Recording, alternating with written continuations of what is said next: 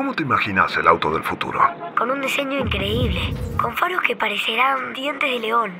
¿Dientes de león? Sí, ¿Volará? No seas infantil. Va a tener un tablero 3D para que puedas estar atento a todo. ¿3D? ¿Qué es eso? Ya vas a ver. ¿Qué se sentirá manejarlo? Va a ser distinto a todo. Va, creo. Todavía no tengo registro para manejar. ¿Crees que podrías dibujar el auto? Y muy bien lo dibujo. Imagino algo parecido a esto.